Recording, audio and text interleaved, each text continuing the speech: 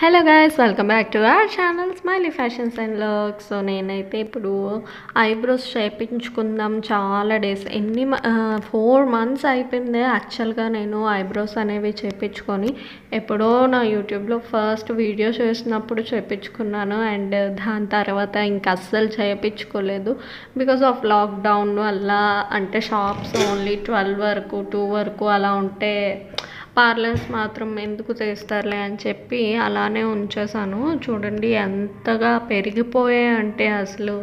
ఎంత చండాలంగా కనిపించాయి.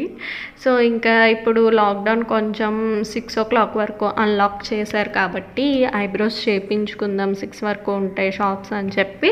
ఇంకా దగ్గరలో ఉన్న ఐబ్రో పార్లర్కి వెంటనే మా ఫ్రెండ్ని తీసుకొని అయితే వెళ్ళిపోయాను అనమాట సో తను చేయించుకోవాలంది బట్ చేయించుకోలేదు ఇంకా వెయిట్ చేస్తుంది కొంచెం. అండ్ నేనైతే చాలా విపరీతంగా పెరిగిపోయి అని చెప్పి ఇంకా తీపించేసుకున్నాను. చూడండి ఎంత హార్డ్గా అసలు తీయాల్సి వస్తుందో చాలా పెయిన్ వచ్చింది. చాలా అసలు జంగిల్లా పెరిగిపోయింది అనమాట సో ఆ పెయిన్ అంతా అలాగే భరిస్తూ టాలరేట్ చేస్తూ ఉన్నాను. మరి ఇంకేం చేస్తాం? అంతగా పెరిగిపోతే తప్పదు కదా ఎవరికైనా. అంతే ఆ సిచ్యువేషన్లో ఉంటే.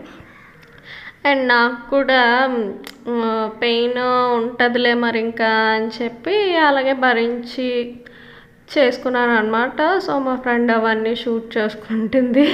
అండ్ ఫైనల్గా అయితే ఐబ్రోస్ కంప్లీట్ అయిపోయాయి. అండ్ కంప్లీట్ అయిపోయిన తర్వాత ఒకసారి చెక్ చేసుకొని చూసినప్పుడు అయితే ఇంకా ఎక్కడో కొంచెం మిగిలింది ఇంకా కంప్లీట్గా తీయలేదు అనే సాటిస్ఫాక్షన్ అయితే ఉంది. ఇంకా కొంచెం ఐబ్రో అయితే మిగిలిపోయింది. సో అక్కడ కూడా తీసేయమని చెప్పాను.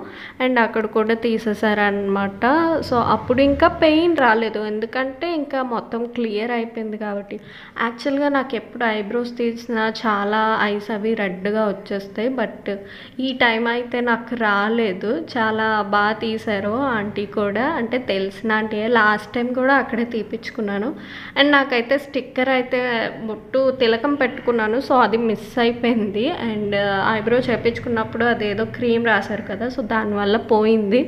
అండ్ ఆంటీ దగ్గర కూడా స్టిక్కర్స్ లేవంటే ఇంకా నాకు నెయిల్ పాలిష్ పెట్టేశారు. అండ్ దాని తర్వాత నేను మా ఫ్రెండ్ అయితే బీచ్కి వెళ్దాము అని చెప్పి ఫిక్స్ అయిపోయామన్నమాట. సో మాకు ఇంటి పక్కనే బీచ్ యాక్చువల్గా అయితే ఇంటి బ్యాక్ సైడే మాకు బీచ్ అదొక లక్ పాయింట్ అనుకోవాలి. ఎందుకంటే ఎప్పుడు కావాలంటే అప్పుడు బీచ్కి వెళ్ళిపోవచ్చు ఎంజాయ్ చేయొచ్చు. అండ్ ఇక్కడ నేనైతే ఏదో ఎక్సర్సైజ్ చేద్దాం కదా అని చెప్తే మా ఫ్రెండ్ ఏమో వద్దు నేనైతే రాను నేను తీయను నేను చెయ్యను అని చెప్పింది. సో ఇంకా ఎందుకులే అని చెప్పి అలాగే వెళ్ళిపోతూ ఉన్నామన్నమాట. చూడండి బీచ్ దగ్గర అయితే చాలామంది వచ్చారు. అసలు ఎక్స్పెక్ట్ చేయలేదు. అండ్ సండే నుంచే వచ్చుంటారు మేబీ. ఈరోజు అయితే చాలామంది ఉన్నారు. చూడండి వెహికల్స్ అయితే ఎన్ని ఉన్నాయి చాలా చాలామంది వచ్చారు. బీచ్ నిండా అసలు జనాలే ఉన్నారు. అంటే ఓవరాల్గా జనాలు అయితే లేరనమాట సో అక్కడక్కడ ఉన్నారు. అక్కడక్కడ అంటే ఇంకా మనకి చాలా క్లియర్గా తెలిసిపోద్ది. ఎంతమంది ఉన్నారు అన్నది అండ్ నేనైతే ఐస్ క్రీమ్ తిందాం కదా అంటే మా ఫ్రెండ్ వద్దు ఈ సిచ్యువేషన్లో వద్దు తినొద్దు అని చెప్పేసింది. సో ఇంక నేను కూడా ఇంక తినలేదు. ఆ తర్వాత బీచ్లోకి వెళ్ళి అలా ఏదో టైం స్పెండ్ చేద్దాం కదా అని చెప్పి వెళ్తాం. చూడండి ఇక్కడ బొమ్మలు అవి బీచెస్లో పెడుతూ ఉంటారు మోస్ట్గా అవి అయితే పెట్టేశారు ఇక్కడ. చూడొచ్చు. గవ్వలు హ్యాంగింగ్స్ అన్నీ పెట్టారు. చూడండి బీచ్లో అసలు కొంచెం ఖాళీ ఉన్న అక్కడక్కడ అయితే జనాలు ఉన్నారు. అందరూ వచ్చేసారు. మేమైతే షాక్ అయిపోయాం. ఏంటి ఎంతమంది వచ్చేసారబ్బా అని చెప్పి.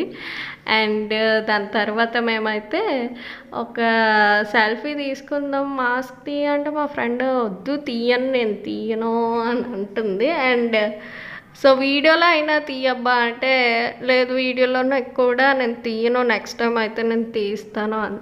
అండ్ చూడండి అక్కడ బీచ్లో ఒక స్టాచ్యూ అయితే ఉంది అక్కడ ఫోటో తీసుకుందామంటే అక్కడ వాళ్ళు ఉన్నారు.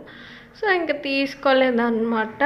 అండ్ అలాగే వాటర్లోకి వెళ్దామా అని చెప్పి అనుకుంటే వాటరే ఇంకా మా మీదకి వచ్చేసింది. అసలు ఎక్స్పెక్ట్ చేయలే. ఆ వేవ్ వచ్చేసింది. వేవ్ రాగానే వేవ్లోకి అసలు వెళ్ళొద్దు దిగొద్దు అనుకున్నాం. కానీ ఎక్స్పెక్ట్ చేయకుండా వేవ్ అయితే వచ్చేసింది తడిచిపోయాను నేను అక్కడ. ఇంకా తడిచిపోయాం కదా ఇంకా తప్పదని చెప్పి అలాగే ఆడుకొని వచ్చేసాం అనమాట చిన్నపిల్లలాగా. అండ్ ఇదైతే బ్యాక్ సైడ్ బ్యా బీచ్ బ్యాక్ సైడ్ రోడ్ అన్ అనమాట స్టెప్స్ ఉంటాయి అక్కడ. అండ్ అలా వెళ్తూ ఉంటే అక్కడ ఫిషెస్ ఉన్నాయి. అంటే ఎప్పుడు నేను వాటి దగ్గరికి వెళ్ళలేదు ఫస్ట్ టైం ఇది. ఎప్పుడు వెళ్ళినా బీచ్ ఫ్రంట్ వైపే వెళ్తాను కానీ ఇక్కడికి అయితే రాలేదు. అండ్ ఇక్కడ చూడండి ఫిషర్ మ్యాన్ ఉన్నారు. అతను సగం కనిపిస్తే సగం కనిపించట్లేదు. అందుకే అలా పెట్టి తీసాను అనమాట అండ్ అలా నడుచుకుంటూ వెళ్తే అక్కడ బుద్ధుడు ఉన్నాడు. సో ఆ బుద్ధుడు కూడా బుద్ధుడి ఫ్రంట్లో ఫోర్ మెంబర్స్ శిష్యులు లాగా ఉన్నారనమాట so one two three four ఉంటారు. కౌంట్ కూడా చేశాను నేను. సో ఫోర్ శిష్యులు అయితే ఉన్నారు. అండ్ నాకైతే డౌట్ వచ్చింది వాళ్ళకి ఎందుకు హెయిర్ లేదు ఇతనికి ఎందుకు హెయిర్ ఉంది అంటే అతను శిష్యు బుద్ బుద్ధుడు అనేవాడు గురువు గారు కదా సో అతనికి హెయిర్ ఉంది అని మా ఫ్రెండ్ అయితే చెప్పింది.